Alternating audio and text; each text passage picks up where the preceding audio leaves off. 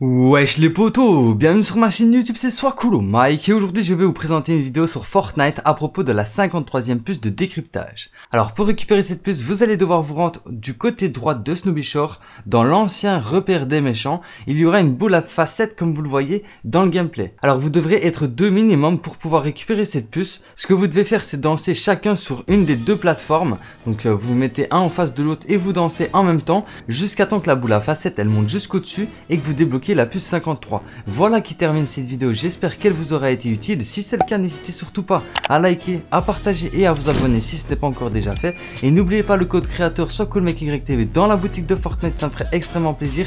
Merci à tous ceux qui me soutiennent. Et sur ce, je vous dis à très bientôt pour plus de vidéos. C'était soit cool mec et ciao Peace.